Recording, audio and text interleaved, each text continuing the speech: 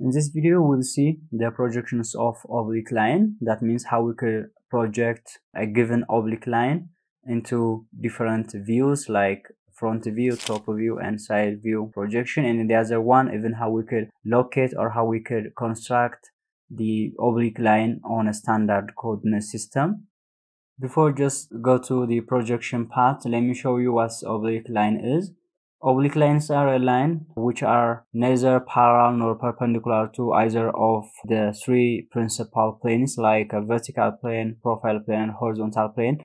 Now let me show you some animation here which can elaborate how just we could understand the oblique lines here. So if you just look over here, this is just the locations of oblique line. And then if you just look from different direction just like this, you can see the line is placed on this uh, standard coordinate system in this way and then the layout of this line is this one.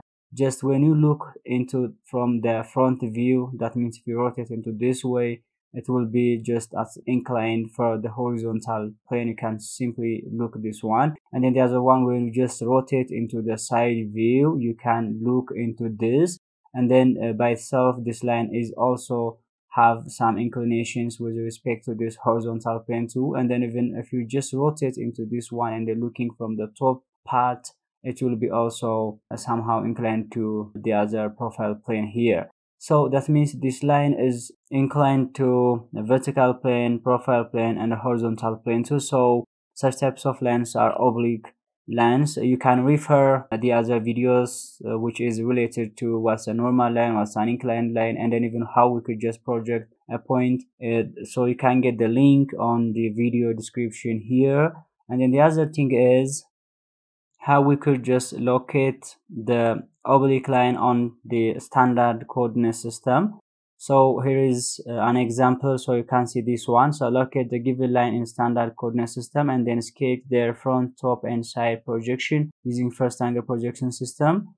So line ab where a is just 3 3 4 and then b which is 6 5 2 and then use one unit equals to one centimeter. So this is the equation. That means uh, we have to just locate line ab on this standard coordinate system normal the standard coordinate system means it will have one vertical line that means y-axis and then 120 degree here will have x-axis into this way and then we'll have one in 120 degree we'll have a z-axis so they will make equal angle.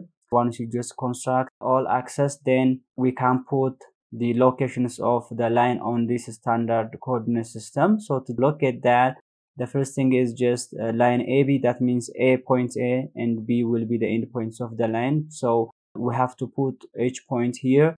So point A is 3 centimeter in the X 3 centimeter in the Y and 8 centimeter in the Z. And then point B is 6 centimeter 5 centimeter and 2 centimeter in X Y and Z respectively. So once we know all this location so we can just put in this way. So let's start from point A so for point A, first we'll measure 3 centimeter in the X, that means in the X-axis we'll measure 3 centimeter from here to here.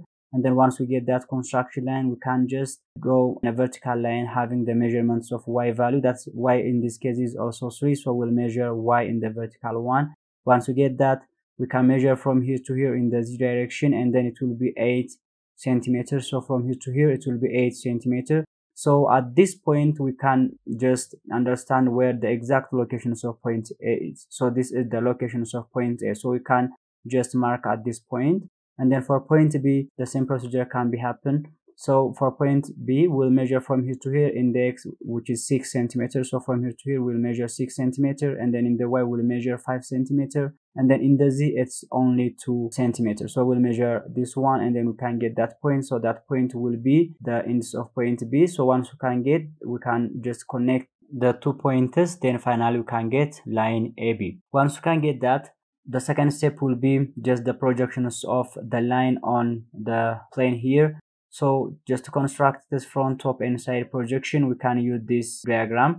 So uh, for front view we can use x and y coordinate system. For top view we can use x and z coordinate system. And then for a side view we can use y and z coordinate system. Once we construct our working plane just like this we can measure from this point to this point in the x. That means we can get the positions of the point on the x. And then from here to here we can get the positions of y. So let's do that. Now for point a the x component is 3 centimeters. So from here to it will be 3 centimeter. And then in the y coordinate it is 3 centimeter too so from here to here we'll measure 3 centimeter. And then that point will be the projections of point a on the front view. So we can just put that point at that portion. So we can get AF here. That means A front view.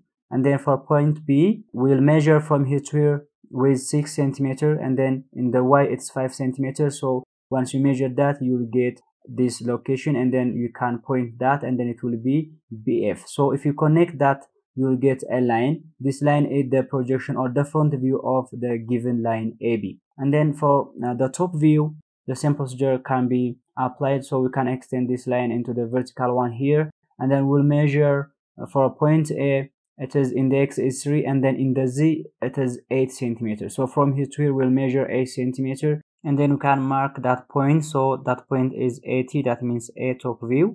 And then for point b in the x it is 6 so you can follow the vertical line. And then in the z direction it is a 2 centimeter measurement. So from here to here it will be 2 centimeter. And then we can put that point once just get the two points we can connect and then we can make the line. So this line is the top view of the given line AB so AT BT will be just the top view of the line. And then the same procedure will be applied for side view. So for the side view we can project from a F and BF in this way. And then for point A we know that for a side view we'll use the coordinate system Y and Z. And so in the Y point A is 3 that means it is on this horizontal line and then in the z it is 8 centimeters. So from here to here we'll measure 8 centimeter and then once we get that we can locate that point. So this is point ar that means a of right side view. And then for point b in the y it is 5 and then it in the z it is 2 so from here to here we'll measure 2 and then we can put that point and then that point will be br that means b right side view. And then we can connect the two pointers. Finally we can get this line. So this line is the side views of the given line AB. Now if you just look the projections of the line on the three principal views, all lines are inclined and then at the same time they are foreshortened. There is no true length. All the lengths are foreshortened or they diminish their lengths. So there is no the true size or the true shapes of that line or when we project the oblique line here.